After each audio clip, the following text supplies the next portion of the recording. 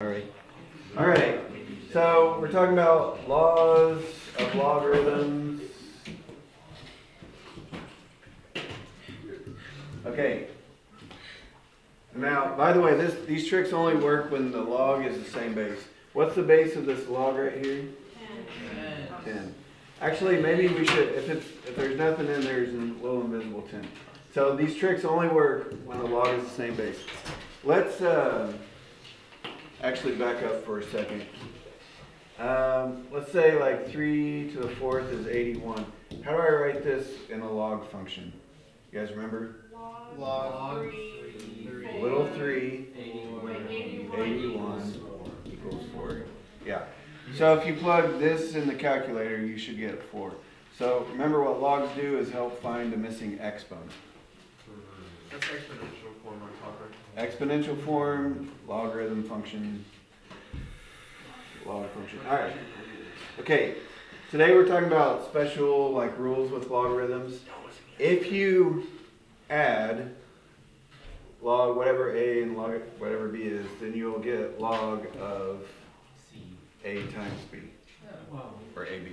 So a really quick example: if you have log three log this would be common logarithm of 3, common logarithm of, say, 10. That would equal the common logarithm of 30. Okay, that's rule number one.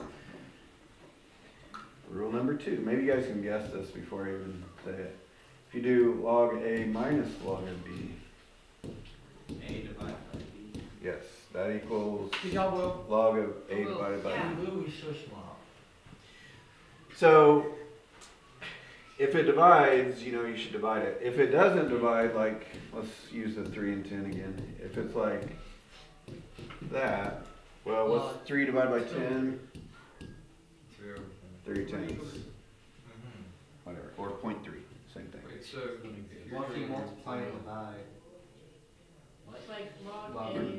We're not doing that. Oh. There's no special trick for that. So Will is so confused. If it's log six plus log eleven, it'd be equal to log sixty-six. Yep. Because you multiply the two numbers. Yep. That's it. All right. And then, um, let's say, I don't know, whatever.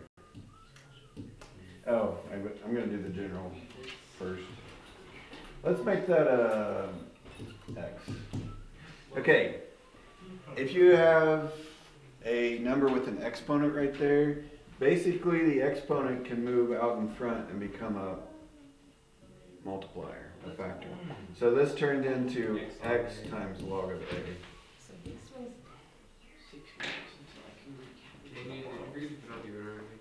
What? You forget to put on the order everything. Okay. So we could also do it backwards too. If we have a times log of b, that would equal log of b to the a. See how we did that? Um, so here's an example. Log base log of 5 to the third equals 3 times log of 5.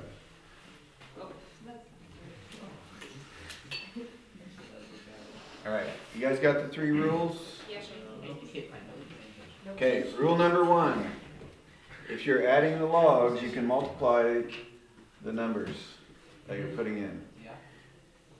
Uh, rule number two, if you're subtracting the logs, you can divide the numbers that are being put in. And rule number three, if there's an exponent on whatever you're putting in the log, you can move it in front as a multiplier. Factor is what you could call it, x times log of a. All right. So, number one, write each expression in terms of log of a and log of b and log of c. So, number one, it's kind of an accident, but I use the same letters as my first example. What's log of a times b equal? Log. Log of a plus log of b. That's it. It's like rule number one, but it, they wrote it back, we're writing it backwards from what I wrote at the beginning. Logs. Number three, log A squared C. Two log A plus log C. Okay, we got two things to do. We're gonna break it up like we did on number one, and then we're gonna move the exponent. So since these two are multiplied together, that's like log of A squared plus log of C. And then what did I say we could do with the exponent? Move it out. Yeah, it can go up front. So that equals two times log of A plus log of C. Codes, codes. Wait, did this just both give us that assignment? No. So in this first section, we're breaking everything apart, writing everything in terms of log of A and log of B and log of C. So kind of separating everything. Number five over C cubed. Okay, now this time they're divided. What do we change division into? subtraction. So this is log of a squared minus log of c cubed. And then what are we gonna do with those exponents? Move them to the front. Go to the front, to the front. So this becomes two log of a minus three We're going fast. log of c. Yeah, we're going pretty, pretty fast because there's not a lot to it. Does it get harder? Uh, a little bit, yeah. Wow. He said today's is going to be harder, and he just said that this one. I didn't want to accept that. I didn't want to accept that I'm I gonna have to do hard things. Whatever you do, look at it with all your heart. Shut up. Yeah. She's quoting the Bible. Thank you very much. Colossians three twenty three. Oh, I thought Emily was just speaking from her mouth. Because I don't take that. I'll quote Paul in the first letter to the Timothy. Don't make me bring this back. Two, two, chapter two, uh, verse twelve.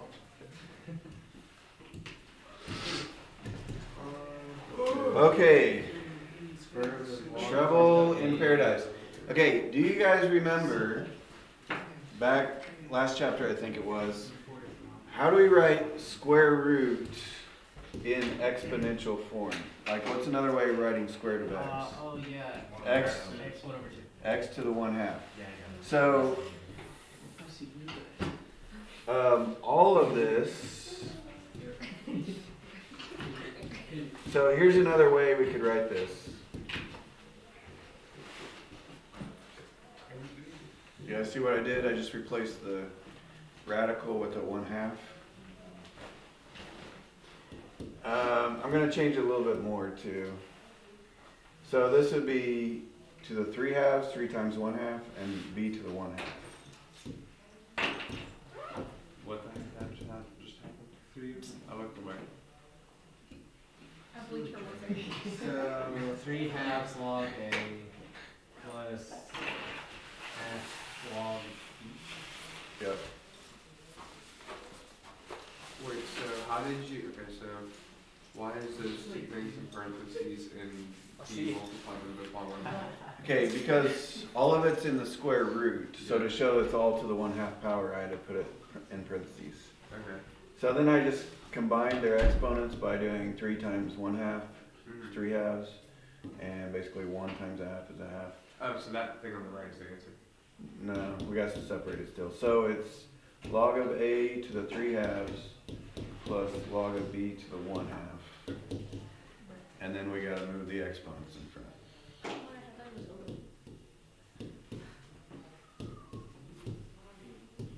This isn't too bad, is it?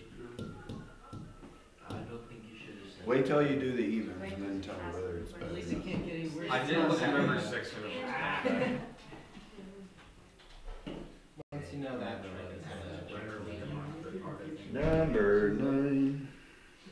Okay, number nine is the opposite. They're broken apart and we're supposed to put them back together again. So, What do we do? nothing. These tricks only work when you have the same oh, same base, but the base is gonna stay the same on our answer too. Okay, log base five of two plus log base five of nine. Okay, when we're adding the logs together, they're the same base. What can we do with the numbers? Two times nine. Multiply. So two times nine is eighteen. So this is log base five of eighteen. See if any of these simplify completely. No, there are none. If this was like log base five of twenty-five, you could turn that into a two. This is some weird decimal. So we're just gonna leave it like, that's, that's the answer. We're done. I'm not sure. Yeah. Um, you said we're not, so like if it's subtraction across the thing, would we divide it? or Yeah. we just- We did. Yep, subtraction turns into divide. Okay, number eleven. Okay, uh, I guess we'll write it down first. We're back to using the common logarithm, so I don't have to write down a base. Okay, what do you think, what do you guys think I'm gonna do with that four in front of this log right here? Move it up as an exponent. So it's log of three to the fourth. Okay, if we're subtracting logs, what can we do with the, these things? Divide.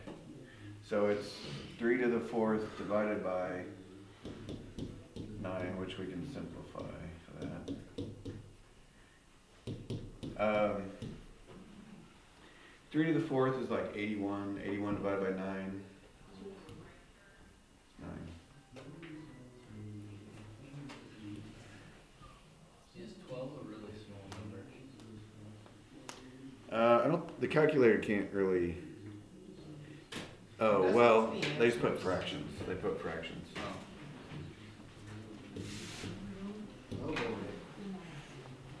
13. Log base 7 of x. I'm just writing the number down.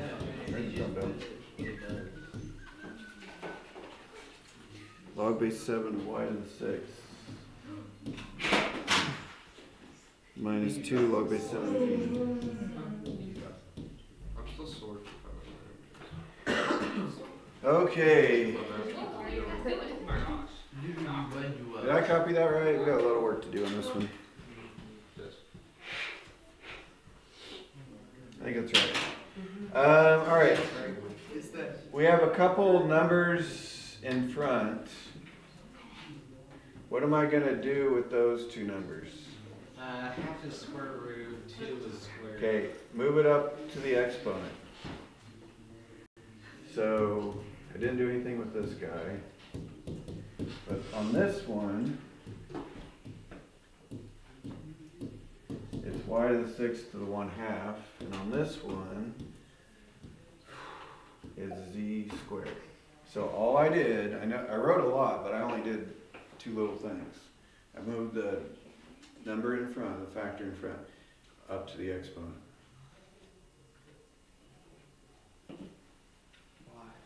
Is that seven?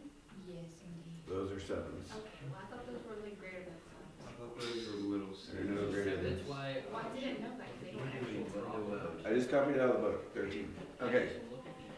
Um, what is y to the sixth to the one half?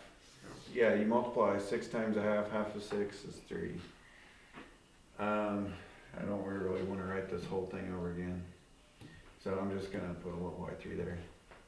Okay, now, the first two are added together. So what do we do with added values? Multiply. So it's x times y cubed, can't do anything with that. And what do I do with the subtracted value? Divide.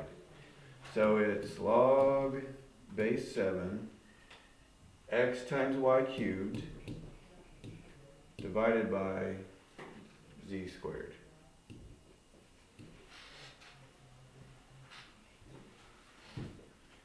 You get just a log of seven, um, z squared? Thank you for saying it wasn't Oh, yeah. on the tracker. What happened? Hmm? Hard.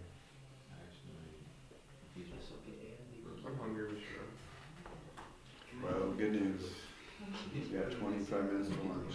Actually, uh, Yes. school has been flying by today. So Mr. Smith class is like ten minutes. Yeah, that's probably like two hours. Did you do the reading? No, me I did the reading, too. Um, on fourteen, I, I can't get a fraction. They just read as a small back. I'm only getting a decimal. Um, they just, well, watch fifteen, and see if you can figure it out. So, oh gosh,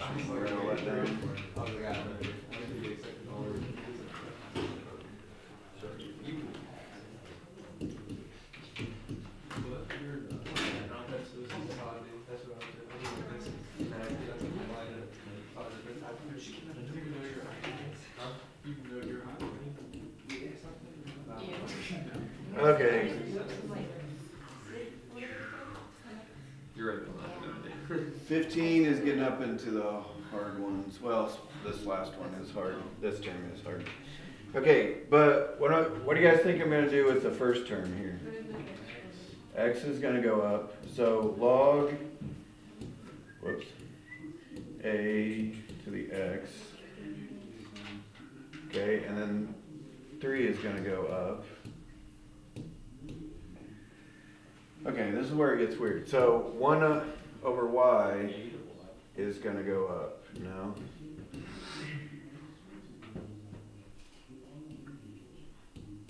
Okay. Well, you remember how um, the one half power meant like the square root of b? So this means the y, the y root, the y root of b. Um, so it's kind of like that, but you put a little wire right there. So that, one's kind of weird. All right. These two are being subtracted. What does that mean? Divide. So a to the x over c cubed. And this is being added, so what does that mean? Multiply. So when you multiply, it's basically like this over one. So it's just gonna go on the top. And that's, that's it. So the y root of b, it goes on top. It's kind of weird, how we went from like a really super easy assignment and then. No, we almost like- never, that's like the first time we've I had a super easy then I was, assignment. I was like, we're, I would think this is gonna be really nice, we're gonna ease into this chapter, and here we are. Well, fifteen might have been hard, but that doesn't mean all of them are hard. I don't know, it's just, it's stressful. Were you lost before fifteen, or is that first? Uh, once we got to nine, Nine. Okay, or no, not nine. let's see, what I wrote up, right up there, one through eighteen. Oh yeah, eighteen, I forgot about that. So 18, 17, and eighteen are kinda like the end of, uh, Friday's assignment. Convert to exponent, convert each property of exponents to logarithm form. Okay, so we just gotta write it as a logarithm, that's kinda like number one actually, on yesterday, or Friday. So, number seventeen, it's log what? Log. Log base A of One? one equals zero. What? We're just turning it into a log, like we did on Friday. Oh, so that's what you're doing with the other one too? Yeah.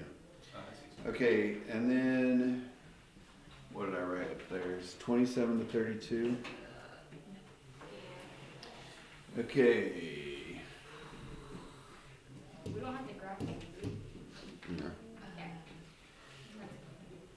All right. We're actually solving equations now, so these are gonna actually have answers, not just simplifying. Solving for x. But we're gonna use our skills that we just obtained. Um, so for example, how can I combine these two log functions? Like what's this plus this gonna equal? Two X. Log base eight of two x. Okay, here's the trick. We kind of used, have used a trick like this before. If they're lo- both log base eight of something equals log base eight of something, if that's true, if they're equal, then two x and seven have to be equal to make this true. You guys see what I'm saying there? No. Uh, once upon a time, you guys remember the chapter where we had like five to the x equals Yes. one point five and Five out of five. we made them like the same base, and then those two had to be equal. That's the same thing. So if you have the same logs are equal, and then two x and seven, two x and seven have to be equal to make this true. So how do we solve that for x? So it's just seven over two. Why wouldn't it be three point five? It's the same thing. Do you just not, Seven divided by two is seven over two. see, this stuff is easy to read. Well, you jinx yourself. You. You haven't learned yet. Never say it's easy till you get to the end. Two log base two two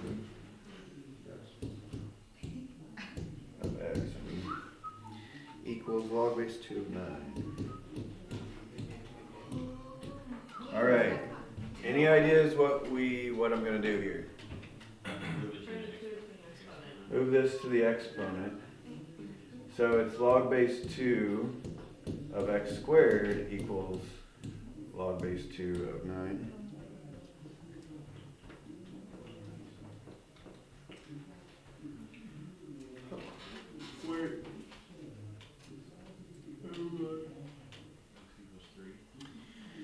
Okay, so, yeah, now that their logs are equal, it's just x squared equals nine.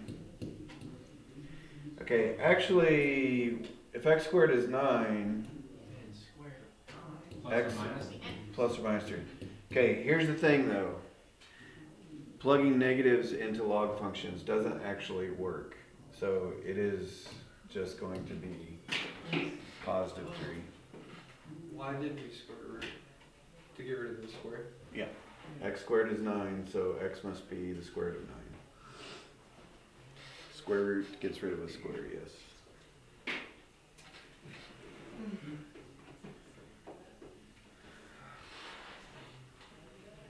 How many more? Two or one? This man.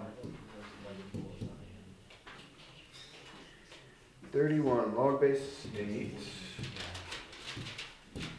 Uh, x, lost my place. Plus four.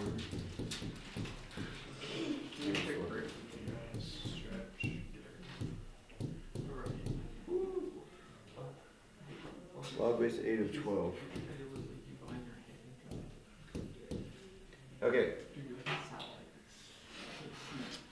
Uh, what am I gonna do to the left side? If you're subtracting, what do you do? This is log base eight of this divided by this. Whoops. so yours is- Now, does that simplify? No. No, it does not. You can't, it's divided by both of them, so you can't divide out the fours. Now, if it was four x divided by four, because multiply and divide are opposites, uh, you could do that because that's a multiplied four, not an added four. But when it's two different terms, no, you can't do that unless they're both divisible by four.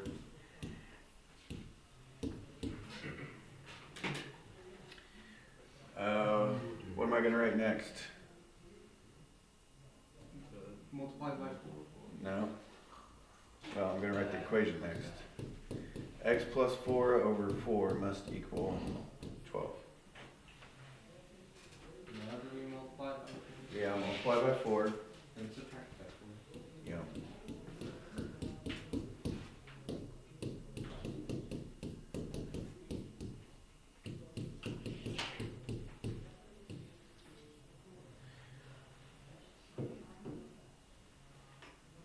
Since these are equations, you could check them by plugging in both sides.